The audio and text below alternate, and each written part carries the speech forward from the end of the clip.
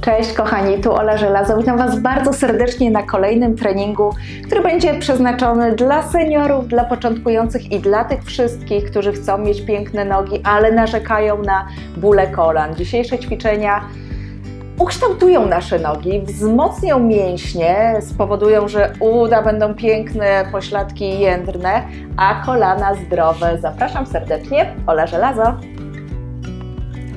Dzisiaj będziemy ćwiczyć w pozycjach niskich, więc od razu zapraszam, żeby się położyć najlepiej na czymś twardym, na rozłożonej macie albo na dywanie. I zaczynamy. Nasz trening na piękne, zgrabne nogi, który nie obciąży kolan, bo wiem, że to jest e, przypadłość e, wielu z nas, że właśnie te kolana szwankują, my chcemy ćwiczyć i właśnie dzisiaj będzie taki zestaw. Dobra, to zaczynamy od leżenia ze zgiętymi kolanami i prostujemy prawą nogę, zginamy i lewą, szorując piętą po macie. Ja mam akurat mapę taką matę dosyć e, taką tempą, więc nie jest to wcale łatwe, ale nie chodzi o to, żeby mocno dociskać, tylko żeby właśnie robić ten ruch prostowania nogi i zginania, żeby tutaj już aktywować nasze kolana, ale bez żadnego dociążania ich. Mhm. Jeszcze cztery takie powtórzenia. Prostujemy palce stóp skierowane na nas, czyli stopa flex i tak delikatnie szuramy po macie. Ostatnie powtórzenie. Zostawiamy kolana zgięte, nogi na szerokość bioder i teraz unosimy prawe kolano i prawą stopą dotykamy lewego kolana, opuszczamy i to samo drugą. Takie delikatne tapnięcie w kolano. Nie chcę, żeby to było nic mocnego. W końcu my dbamy o nasze kolana, nie chcemy, żeby nas bolały, więc proszę Was bardzo, róbmy to z czułością. Mhm.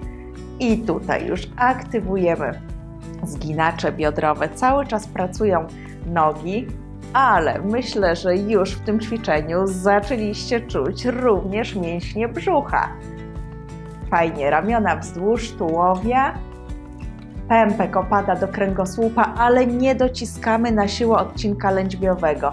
Nawet e, lepiej by było, żeby była nie, taka niewielka przestrzeń między lędźwiami a podłożem. Ostatnie cztery powtórzenia, delikatne tapnięcie. Trzy i dwa i jeden. Zostawiamy zgięte kolana, stopy na szerokość bioder, palce stóp delikatnie skierowane na wewnątrz, ramiona wzdłuż tułowia, wnętrza oparte o matę. Bierzemy wdech i z wydechem unosimy biodra do wysokości ud, tak żeby ciało było w jednej linii. Utrzymujemy chwilę na górze, czując jak fajnie pracują pośladki i tyły ud.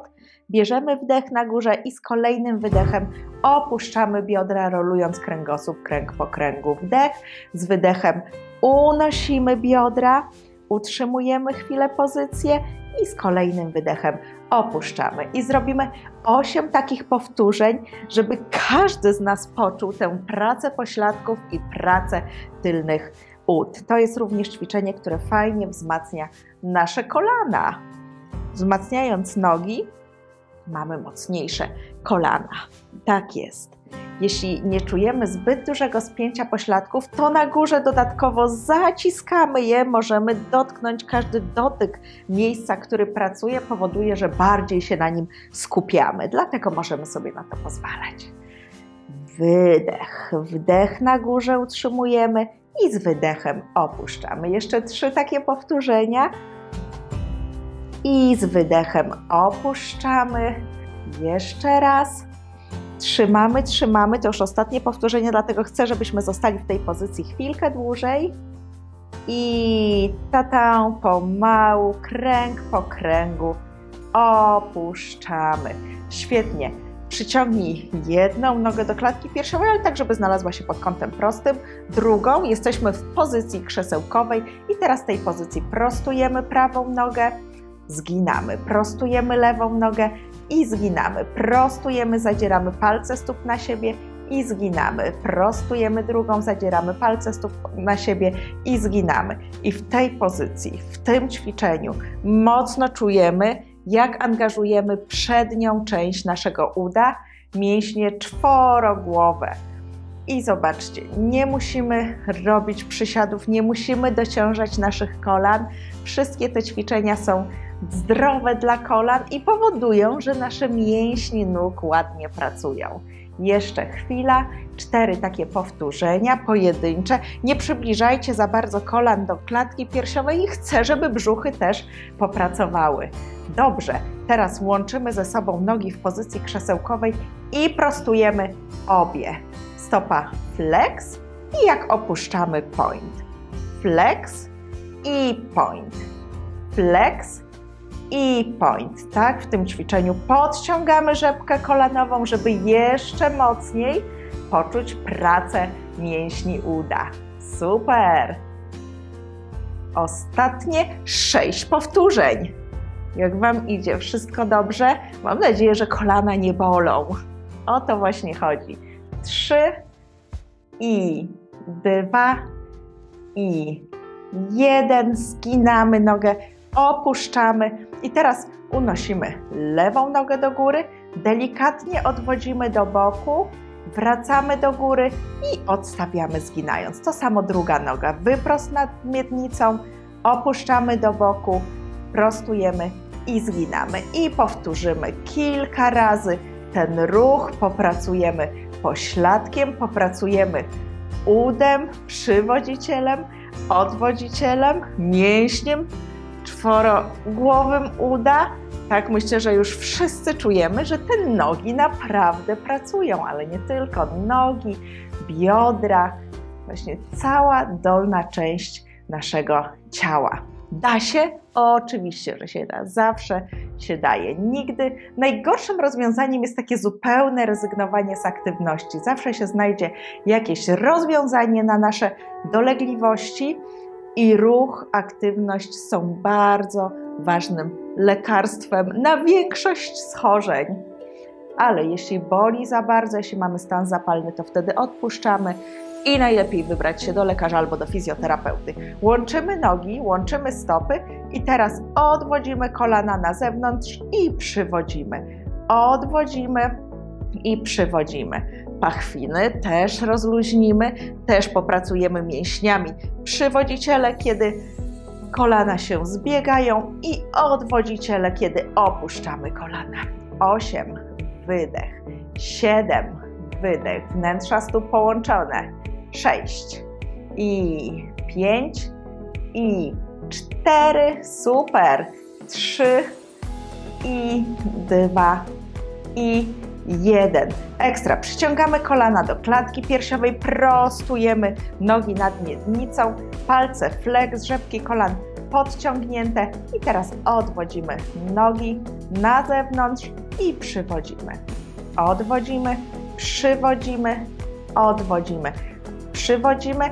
Teraz zmienimy, przywodzimy, zginamy, dotykamy palcami do maty i z powrotem góra. Odwodzimy, hop i hop. Góra. Odwodzimy, łączymy, opuszczamy. Góra. Odwodzimy, łączymy, opuszczamy. Góra. Odwodzimy, łączymy. Jeszcze sześć takich powtórzeń. Sześć. I, i, pięć. Tak, to jest kombo. Tutaj łączymy parę ruchów. Jeszcze cztery. Tak jest. Hop. I trzy. Mhm. Odwodzimy, przywodzimy, opuszczamy, prostujemy. Ostatni raz. I zostawiamy nogi u góry. I teraz opuszczamy prawą nogę, stopa flex i unosimy. Opuszczamy lewą nogę, stopa flex i unosimy. Prawa noga, góra, dół, góra, dół, góra, dół, góra. 8, świetnie. 7, rzepka kolana podciągnięta. 6 i 5, 4, super. 3 i 2 i 1. Nogi do góry, zginamy, odkładamy i kładziemy się na jednym boku. Podpieramy się na przedramieniu, druga ręka jest na drugiej ręce, opieramy nasz brzuch i tak się kładziemy na tym brzuchu, żeby nie była to jakaś taka pozycja, tylko chcę, żebyśmy mieli pewność, że ta pozycja jest wyprostowana. Nogi, stopy na wysokości bioder i teraz z tej pozycji odwodzimy górne kolano i kładziemy. Odwodzimy i kładziemy. Fantastyczna praca, która angażuje mięśnie pośladków, angażuje zewnętrzną część uda. Zresztą za chwilę poczujecie, jaki to jest ogień. Opieramy się, napieramy na przedramię, które jest przed naszym brzuchem. Wnętrza stóp są cały czas doklejone i połączone. Nie zapadamy się w klatce piersiowej. Klatka piersiowa jest cały czas uwypuklona i podnosimy jedną nogę cały czas podnosimy jedną nogę. Jedno kolano wędruje do góry i łączy się z tym dolnym. Dolne natomiast jest mocno doklejone do maty. Jak tam czujecie już? Ja już czuję. Jest taki ogień w pośladku i właśnie w tym zewnętrznym udzie. Jeszcze cztery powtórzenia. Trzy, hej, dwa i jeden. Połóżmy się na plecy, zaraz zrobimy to samo na drugą stronę i jeszcze raz wznosy bioder i opuszczamy. Wznos bioder i opuszczamy. Teraz troszkę dynamicznej wdech i wydech. Wdech i wydech. Jeszcze chwila. Tych powtórzeń możemy robić dużo. Tutaj nie, tutaj w tym akurat ćwiczeniu liczy się też ilość.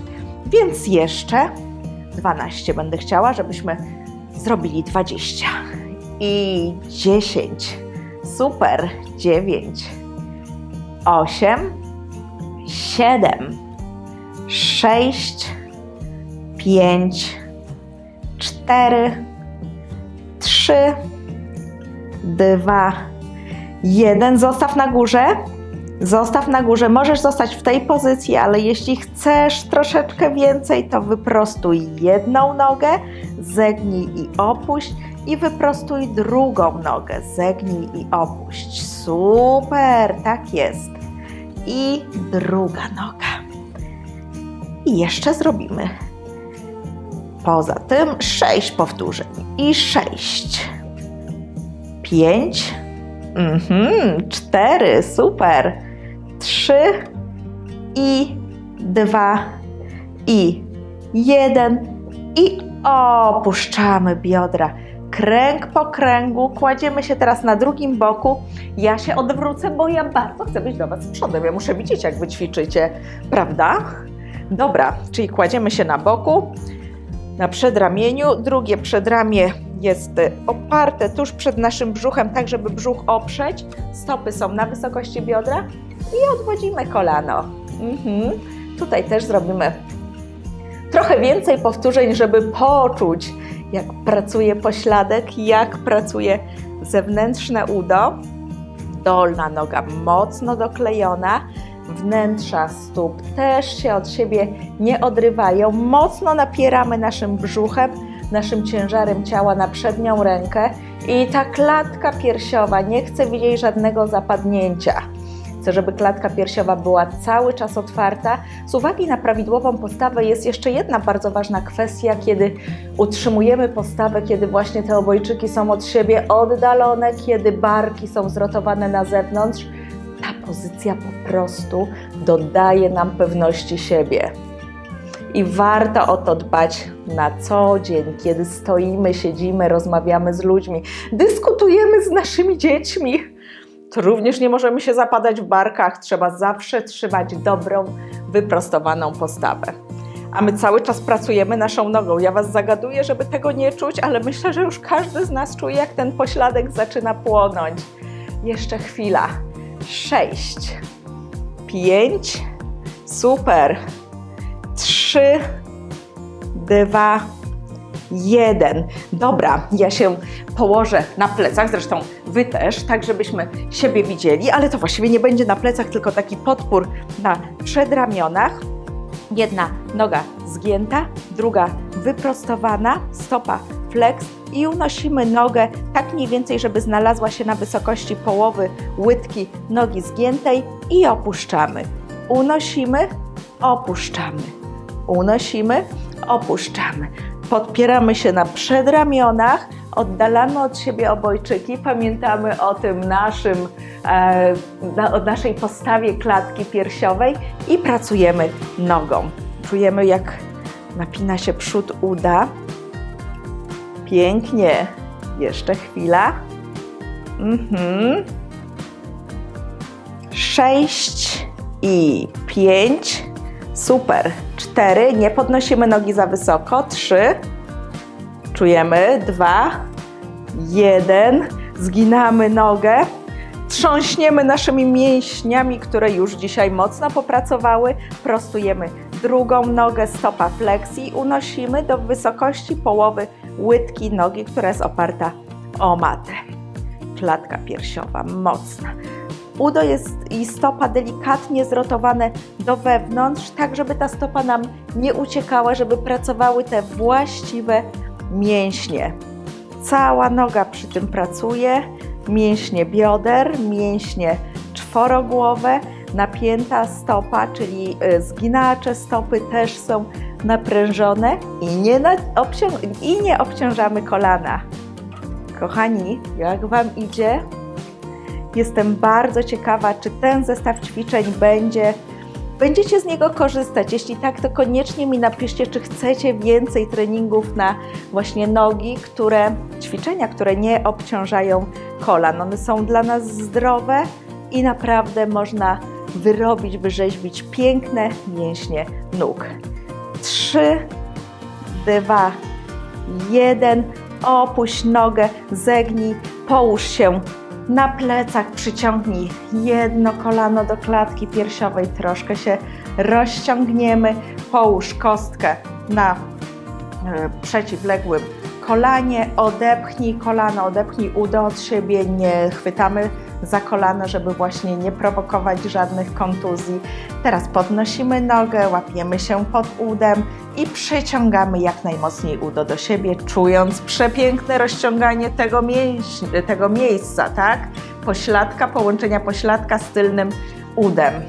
To są również najczęściej pospinane mięśnie u każdego, dlatego niech to będzie nasza chwila relaksu i niech ona wraca do naszych treningów regularnie, żeby ciało mieć sprawne i bez żadnych bólów, bo często właśnie to miejsce jest pospinane i powoduje, że nas bolą plecy, że nas bolą nogi, a tego przecież nikt z nas nie chce. Opuszczamy nogę, drugie kolano prawe, tym razem do klatki piersiowej, druga noga zgięta, oparta o matę. Rozluźniamy brzuch, Kładziemy kostkę na przeciwległym kolanie i odwodzimy kolano, naciskając na udo. Utrzymujemy pozycję przez chwilę i kiedy czujemy już przyjemne odprężenie w biodrach, przyciągamy udo do siebie, do klatki piersiowej jak najmocniej, natomiast kolano nogi, która jest oparta, odwodzimy od siebie ja w tym ćwiczeniu bardzo mocno czuję rozciąganie i dlatego bardzo je lubię, bo wiem, że jest skuteczne. A wy? To też wasze ulubione, rozciągające? Nieważne, czy ulubione, czy nieulubione, trzeba je robić, żeby, żeby mieć zdrowe ciało, po prostu. Jeszcze chwila. Oddychamy, nie zapominamy o oddechu, bo ten oddech jest bardzo, bardzo ważny w każdym aspekcie naszego życia, nie tylko przy ćwiczeniach. Ostatnie dwie sekundy. Prostujemy nogę, przekręcamy się na bok, przechodzimy do siedzenia Siadamy w siadzie skrzyżnym, który jest też y, zdrowy, fajny dla naszych ud, dla naszych bioder. Jeśli jednak ta pozycja powoduje, że kolana bolą, no to szukamy takiej, której mniej bolą. Na przykład taki siad z oparciem z tyłu, z uwypukleniem klatki piersiowej. Znajdźcie taki rodzaj siedzenia, który nie sprawia bólu, ale jednocześnie działa tak e, rozluźniająco, odprężająco na nasze biodra i miednice, bo możemy ćwiczyć w każdej chwili naszego dnia. Moi kochani, bardzo dziękuję za, za wspólne ćwiczenia dzisiaj e, na E, piękne nogi i zdrowe kolana. Drodzy seniorzy, dziękuję, że byliście ze mną. Napiszcie, jak Wam się podobało, czy daliście rady wykonywać te ćwiczenia. To są ćwiczenia przeznaczone dla Was również, a jeśli któreś nie wyszło, to trzeba podchodzić do treningów regularnie, bo z każdym kolejnym treningiem treningiem nabieramy sprawności, e, jesteśmy mm, bardziej elastyczni i te wszystkie ćwiczenia przychodzą z większą łatwością. Pozdrawiam Was serdecznie i do zobaczenia na macie na kolejnych treningach. Mua, buziaki, pa!